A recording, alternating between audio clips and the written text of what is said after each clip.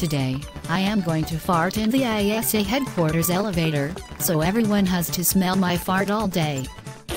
Ugh, that's nasty. What the hell's your problem? Get bent, little boy. Just when I thought my day couldn't get any worse, Wendy farts in the elevator. You mean like this? Jesus Christ. This is fantastic. Everyone is butthurt. Excuse me?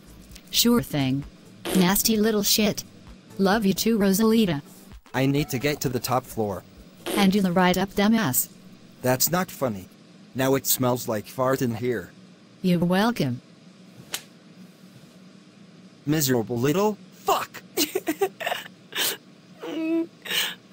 Jesus fucking Christ? Really? Who's crying like a fucking baby? And why do I smell fart? Oh fuck Carter. That creepy looking Wendy kid farted in the elevator. Wendy, what are you even doing here? Brightening everyone's day with a fresh scent of my asshole. Sick fuck.